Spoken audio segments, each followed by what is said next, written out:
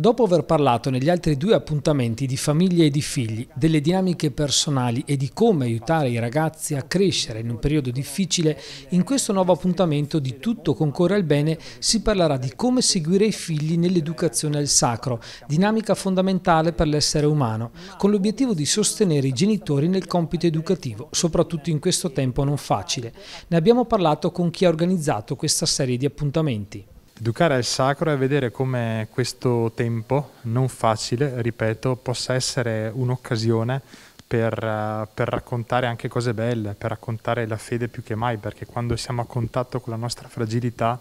siamo in realtà uh, davanti ad una porta straordinaria che si apre per comprendere anche come vivere la fede e che cosa vuol dire essere figli di Dio. Ezio Aceti, perché è stato pensato questo ospite e quali sono le sue caratteristiche? Innanzitutto per la sua preparazione, perché penso che nel suo campo sia uno tra i più preparati, e anche per il suo stile, porta veramente tanta allegria e tanta simpatia e in questo tempo forse più che mai ce n'è di bisogno.